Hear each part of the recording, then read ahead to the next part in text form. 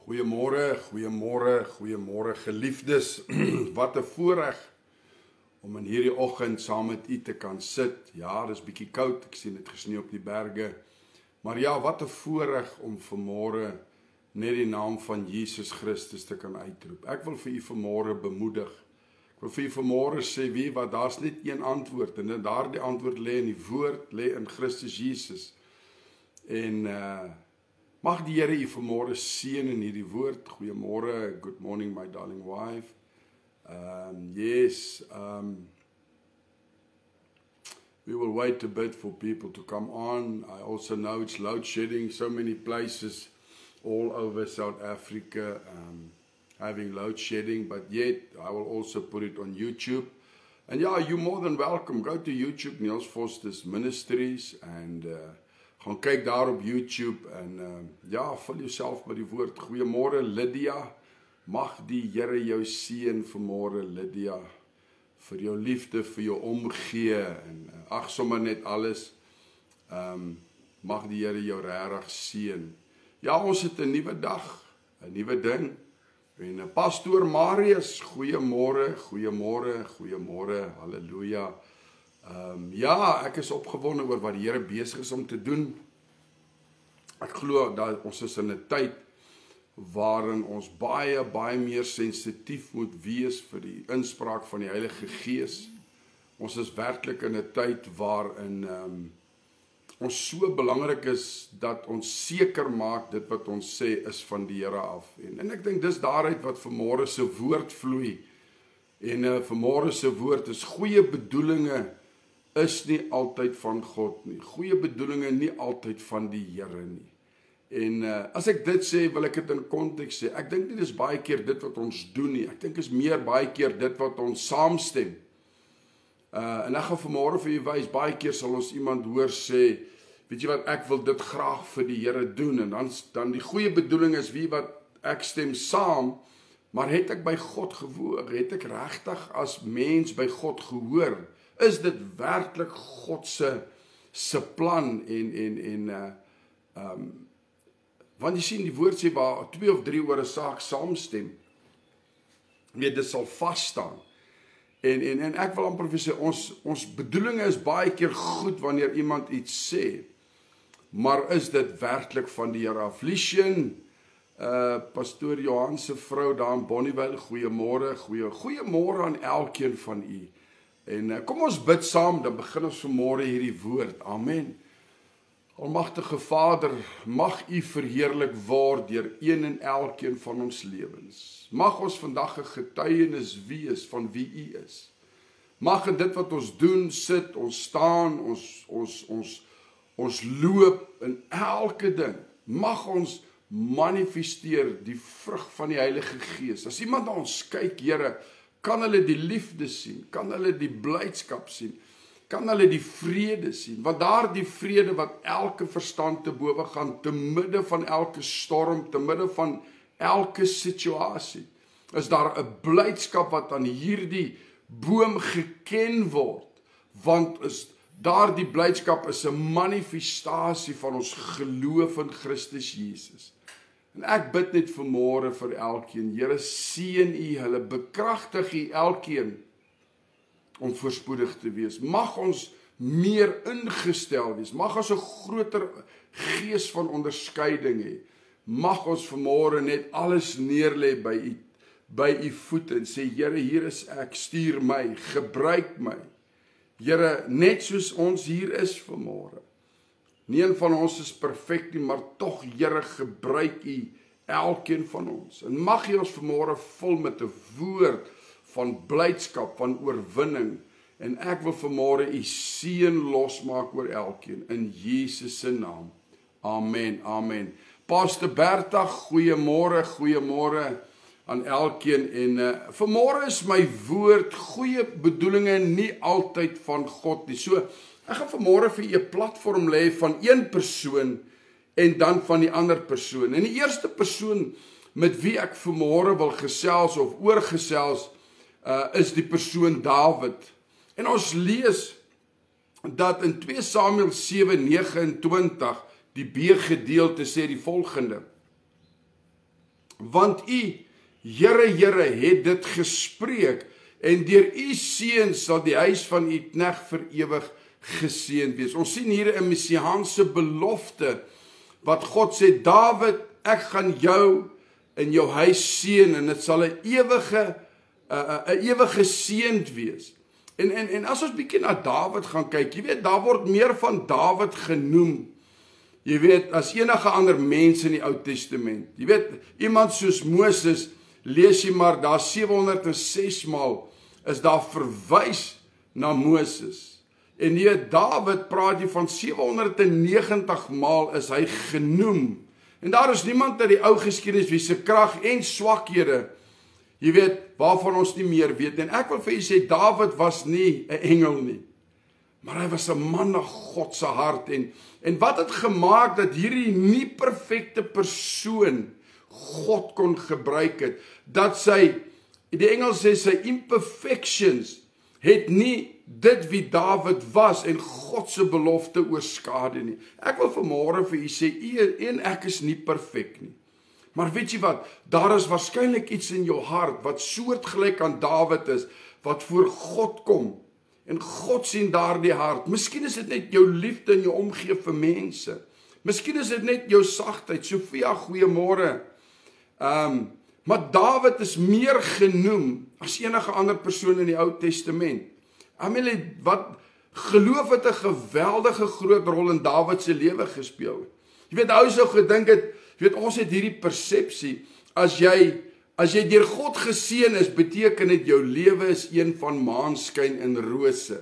maar die realiteit is Jy gaan van die een storm na die ander storm letterlik deur jou hele lewe. Jy het oomblikke waar jy in die hemel is en die volgende oomblikke wat jy voel, Here, Here, waarom het U my verlaat? Of soos Jesus uitroep en sê, Here, kan hierdie beker nie maar by my verbygaan nie. En dit is ook Dawid se lewe. Ek bedoel, hierdie hierdie herder, jy weet wat 'n kampvegter geword het teen die Filistyne as 'n herder toe toe Goliat op die toneel verskyn het en die geloof wat hy aangewend het om in oorwinning te kom. Maar nou goeiemôre teen hierdie jy weet hierdie reus en dan die geloof jy weet waar hy gesalf is as koning maar die woord in die salwing nie in vervulling gekom het nie vir baie baie jare ek dink is omtrent 20 21 jaar van wat hy deur Samuel gesalf is voordat hy werklik koning geword het. Nou kan jy sê, "Wel, God het hom as seker daar een kant weggehou en homself mag geleer." Nee, hy is een wat moes gevlug het voor die koning. Hy het rondgeswerf. Hy kon so gesê, "Here, maar ek verstaan nie. Ek dra 'n salwing, pastoor Sakkie, goeiemôre." Kan jy dink vir Dawid gesalf as koning? Hoeveel van ons het nie baie keer is daar hand op ons gelê en 'n profetiese woord oor ons losgemaak En en en ons en, en ons het gehoor so sê die Here Here gaan God met u doen. Dis jou roeping en die mantel word oorgedra en dan bevind jy jouself in 'n plek waarin jy rondswerf vir jare en jare dat jy na amper half moed verloor oor God se plan vir jou lewe. En hier is hierdie man Dawid sy geloof in al hierdie jare wat hy rondgeswerf het, wat hy in die woestyn moes deurdring, wat hy in spelonke moes skuilhou, het hy het hy aan sy geloof vasgehou. Hierdie selfde Dawid lees ons in Psalm ehm um, Psalm uh 8 Psalm 18. Hoor wat sê hy? Uh met u loop ek 'n bende storm, met my God spring ek oor 'n muur. Hierdie selfde Dawid Ek wil vanmôre vir jou sê, miskien is God se plan nog nie in vervulling nie, maar moenie jou geloof verloor nie. Pastor Sakkie het vanmôre bedien oor oor ongeloof, oor doubt actually, nie soseer ongeloof nie, maar doubt. Ehm um, net 'n oombliekie.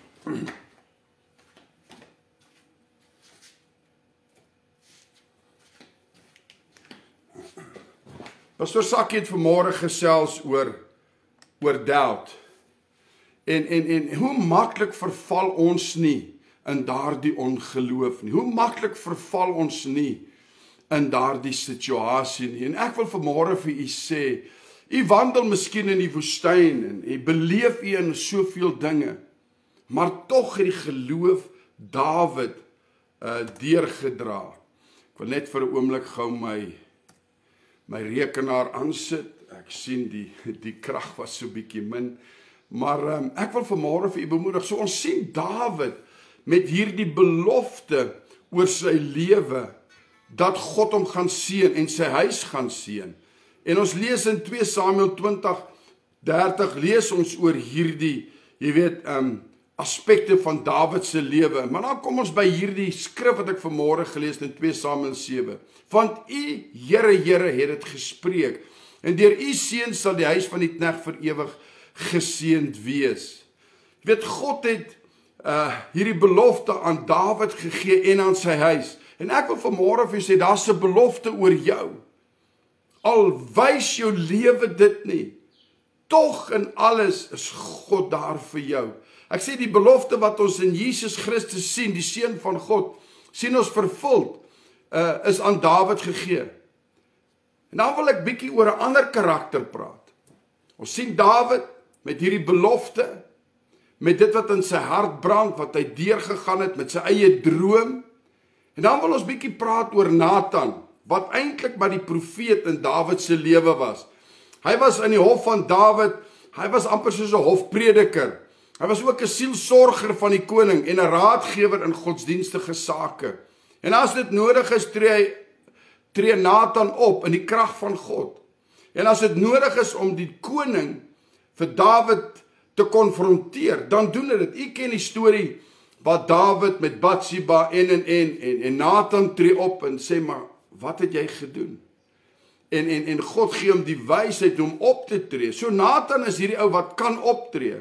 Hy tree ook op in God in die krag van God.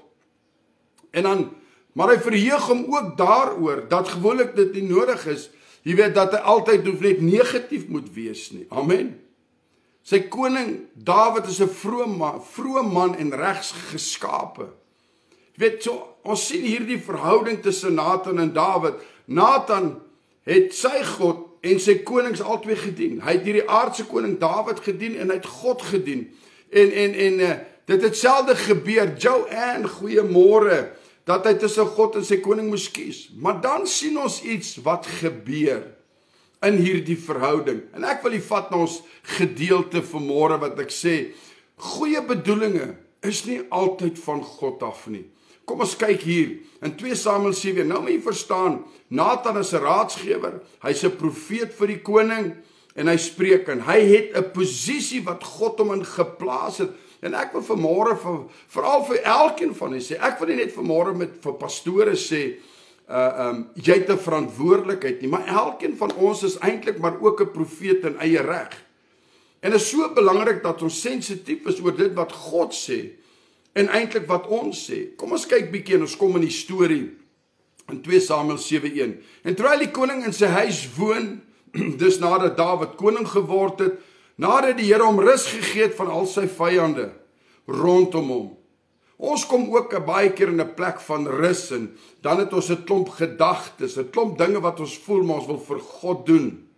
En dan word ons, jy weet, wil amper sê ons het hierdie drome wat ons voel maar is nou die tyd om dit uit te leef. so ons sien Dawid in 'n plek in 'n plek van vrede en vers 2 sê die koning vir die profeet. So Dawid sê in hierdie oomblik: "Kyk tog, ek woon in 'n huis van sederhout, maar die ark het die goeie môre, maar die ark van God woon binnekant in 'n tentdoek." So is asof Dawid sê, "Maar ek bly in hierdie beter huis, maar ek sien dat die ark God se teenwoordigheid is maar in 'n tent woning. Toe sê Nathan aan die koning: "Gaan heen doen alles wat in die hart is, want die Here is met u." Jy moet verstaan, wat 'n goeie bedoeling. Koning, gaan en doen wat in jou hart is want God is die Here is met u. Ons moet so versigtig baie keer wees om net saam te stem. Ons moet sensitief wees wanneer ons in is elke situasie is. So wat sien ons hier? Die koning sê vir vir Nathan as profeet. So wat was die koning se intensies? Het hy 'n antwoord verwag van Nathan as 'n man van God? Het hy verwag dat iemand moet saamstem of nie saamstem nie? Wat was die bedoeling van Dawid toe hy gesê het, was dit maar net as mens met dankbaarheid gesê het, wie wat Nathan, ek bly in hierdie pas, hierdie hierdie kasteel wat ek gebou het, hierdie huis. Maar God daar buite, die ark is maar in 'n tentwoning. En hy sê hier, ehm, um, so wat sê hy eintlik? Hy sê eintlik, wie wat Nathan, ek dink ek moet vir die Here 'n huis bou. Ek moet 'n tempel bou. En Nathan sê vir hom eintlik: "Koning, gaan heen en doen alles wat in die hart is, want die Here is met u." Ons sê so maklik vir iemand wanneer môre Leona, wanneer ons iemand hoor met 'n ek wil nie sê 'n goeie nie, maar 'n goddelike idee. Hoe maklik sê ons gaan dan heen, die Here is met u. Maar die vraag is, was daar 'n onderskeiding? Dat dit wat jy nou gesê het en saamgestem het met daardie persoon, dat jy kon sê ek het gehoor om te kon saamstem. Nathan tree eintlik hier half uit die natuurlike op en hy sê koning, wie wat? Hoor mooi, doen alles wat in die hart is want die Here is met u. Maar hoor gou wat sê vers 4. Maar dieselfde nag kom die woord van die Here tot Nathan en sê: "Gaan sê aan my knegt aan Dawid, so spreek die Here, sou jy vir my 'n huis bou om in te woon?" Wat sê die Here vir Nathan? Nee, nee, nee. Jy gaan môre en jy gaan vertel die koning Dis nie jou dis nie wat ek op jou gelê het om vir my 'n huis te bou nie. Kan jy verstaan? Gister stem die profeet saam. Ek bedoel, gister jy weet stem sê my saam met Dawid en vanmôre kom dieselfde persoon na Dawid en sê die Here sê jy sal nie vir my 'n huis bou nie. Jy sien goeie bedoelings baie keer is nie noodwendig van God af nie. So jy sien Nathan was in sy hart verheug. Ek bedoel sy bedoeling was eintlik weet dat die koning dat hy 'n tempel, 'n woonhuis, 'n verbondsark vir die Here wou bou. En tydens sy omswerwing in die woestyn en, en in hierdie toestande wat Dawid mag gevind het, was daar ook maar geen verblyfplek vir baie jare vir die ark van God nie, die teenwoordigheid nie. Maar Dawid toe hy hom gevestig het in Jerusalem, het eintlik nou 'n plek geskep waar aan die tempel gebou kan word. Amen. Um, so Dawid gedink, jy weet Dawid het gedink, maar wie wat die omstandighede is nou ryp om vir God iets te doen. En hoe baie keer vind ek en jy nie onsself in daai toestand dat ons nou voel, okay, ek is nou by 'n plek, ek voel ek wil daar nou iets vir die Here doen en dan het ons hierdie hartsbegeertes. En dan deel ons dit met ander en baie keer deel ons dit met kerkleiers. En dan is die kerkleier baie keer nie noodwendig sensitief nie, maar meer uit 'n verheugde dat iemand iets vir die Here wil doen, sal ons baie keer sê, maar wie wat mag dit wees soos die jy weet, mag die Here mag mag weet of ons sal sê wie wat is goed gaan doen dit. Maar 'n goeie bedoeling is nie noodwendig nie. Onthou net daai persoon vat dit en hy het 'n bevestiging nou van die van die persoon, die gesagsman en vrou van God. En dan werk dit nie uit nie. En dat ons nie sensitief geraak nie. Ons bedoeling was goed. Ons het saamgestem, maar ons het nie by God gehoor nie. En ek wil vir jou vanmôre sê dis so belangrik dat ons by God hoor. So Dawid gedink en Nathan het verheug met daardie gedagte ingestem. Gaan heen doen alles wat in die hart is want die Here is met u. Ek sê die die profeet het die oomblik vergeet dat hy 'n profeet is. Hoe baie keer vergeet ons nie dat ons woorde het krag en ons bedoelinge ook goed kan ook skep of afbreek. I mean Nathan is iemand dat jy weet uh, ek sê dit was iemand wat uit die naam van God praat, maar dit net kan doen as God eers met hom gespreek het. Die profeet het nie die beskikking oor die God se woord gehad op daai oomblik nie. Hy moet eers luister na God voordat hy uit die uit, uit die naam van God kan spreek. Verstaan gemooi.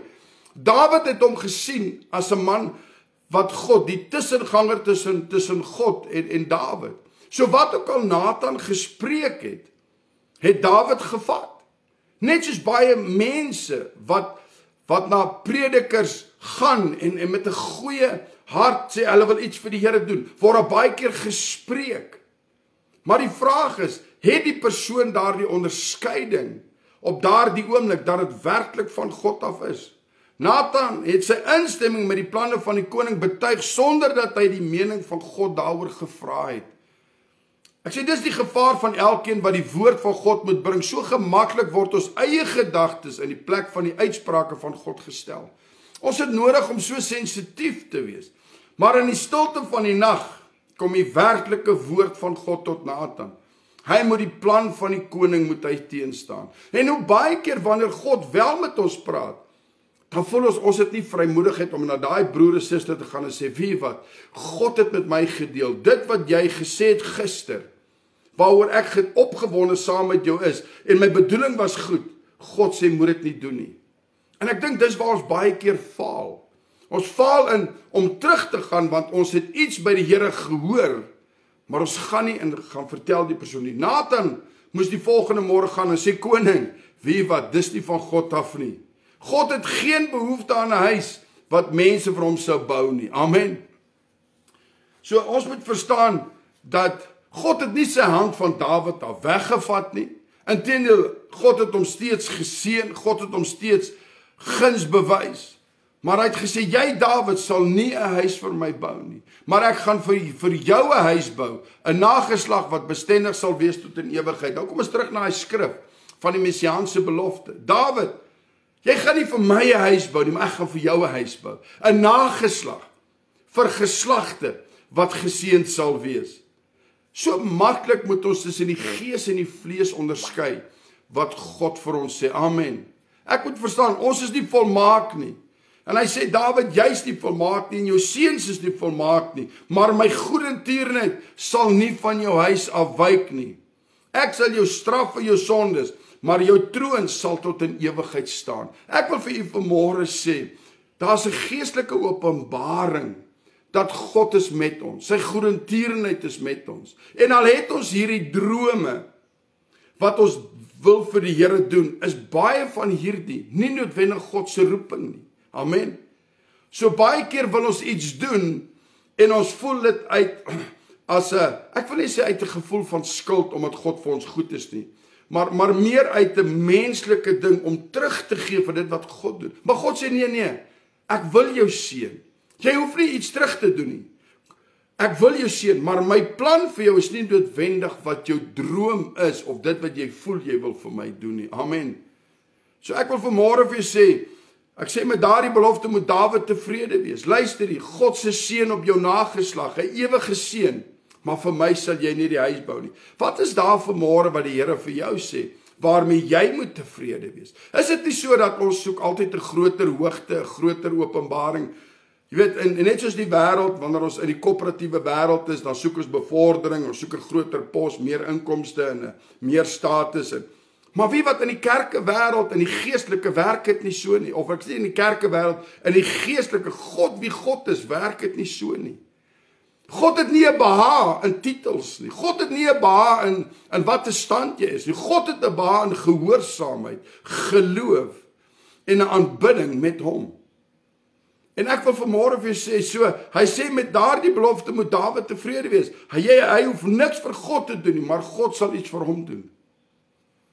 En hoe baie keer wil ons vir die Here iets doen, maar ons het nie gehoor nie. Dit kom uit die goedheid van ons hart. Ons bedoeling is goed, maar dit is nie noodwendig 'n goddelike idee nie. En baie keer stem mense saam met ons sonder dat daar onderskeiding was. Het God werklik so gesê? Ek sê dis nie so maklik om met 'n antwoord wat Dawid moes skryf van God af. Luister die Dawid, ek gaan jou ek gaan vir jou huis bou, maar jy gaan nie vir my 'n huis bou nie. Maar tog was dit sy droom. Tog was dit sy sy ding wat hy vir God wou gedoen het uit 'n dankbare hart en die Here sê nee. En hy moes met daardie antwoord tevrede wees. Wat is daar vir môre wat die Here vir jou gesê het? Maar moet dit nie doen nie. Jou bedoeling is goed, maar moet dit nie doen nie. Maar steeds volhard ons om iets te doen terwyl ons reeds die openbaring het dat God sê moet dit nie doen nie. Maar jy sien, hoeveel van ons neem besluite en en ons doen goed met goeie bedoelings. Maar eintlik is dit nie lyn met wat God wil hê van jou lewe nie.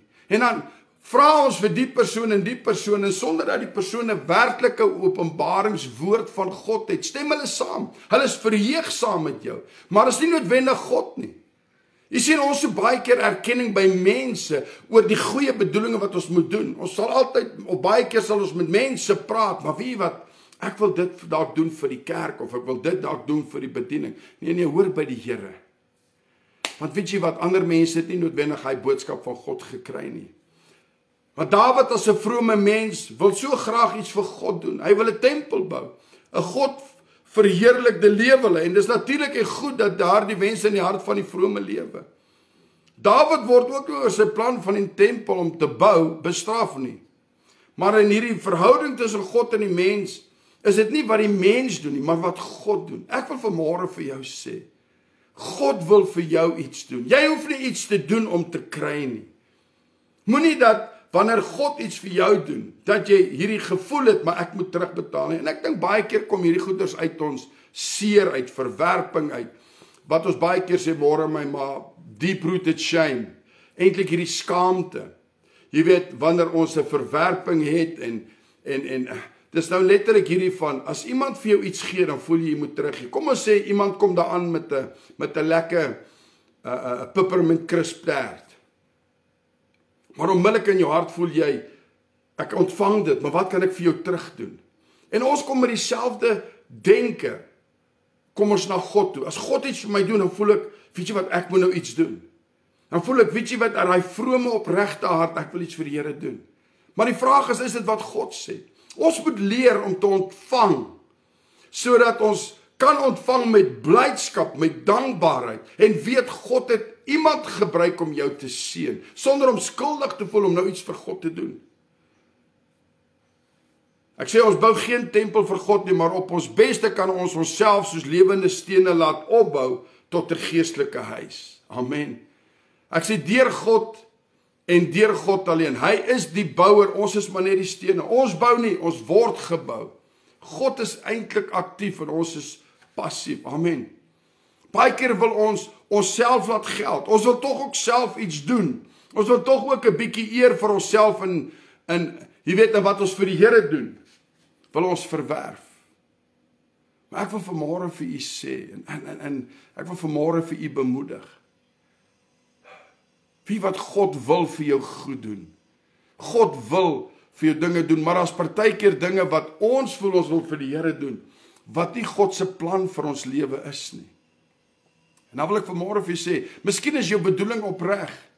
Miskien is dit regtig uit 'n opregte hart as 'n vrome mens. Maar wees sensitief vir dit wat God wil doen. Amen. Dan wil ek vir die Natans daar buite sê, moenie haastig wees om saam te stem nie. Al is jy verheug oor iemand wat sê ek wil iets vir die Here doen. Leona daai peppermint crisp tart, ai ai ai, dit was hom lekker prys die Here. Ek wil vanmôre vir jou sê, weet jy wat? As iemand met jou praat, wees sensitief. Laat dit eerder sê so sê die Here as wat dit uit jou bedoeling is en jy versterk iemand wat dalk nie op daai stadium onderskeiding het oor wat God nou wil doen nie.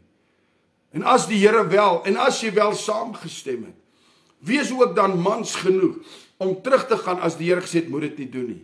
Moet dit nie net stil bly nie. Want weet jy wat jy te woord losgemaak, jy moet daai woord gaan kanselleer. En al is nie lekker vir daardie persoon nie. Al sê daai persoon maar jy het gister saamgestem. Wel gister het ek uit myself uit opgetree. Gister het ek uit myself sonder om God te ken opgetree. En ek dink dis iets wat ons moet leer. Ons is so gemaklik om gou uit onsself iets te doen en te sê sonder om te te hoor Wat sê God? En wie wat God daai nag maak hy vir Nathan wakker en hy sê luister jy, het verkeerd opgetree. Gaan sê vir Dawid, hy gaan nie hy gaan nie daai tempel bou nie. Gaan sê vir Dawid dat ek sê dis wat my woord, maar gister het jy uit jouself uitgepraat. En ek wil u vanmôre met dit bemoedig.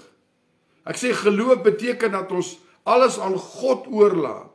Dat ons onsself volkome afhanklik van God moet plaas dat ons inderdaad op niks anders as ons vertroue in God kan stel nie en in sy genade. En in hierdie konteks wil ek vir jou vanmôre bemoedig. Let God be God.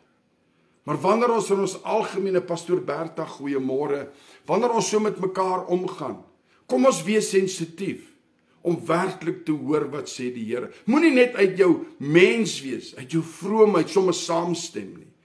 Maar wees eerder een wat sê ek het by die Here gehoor en dis wat ek ervaar. Want ek dink dit ons raak baie min. Ons praat so maklik uit ons eie gedagtes uit. Ons praat so maklik uit ons eie self uit.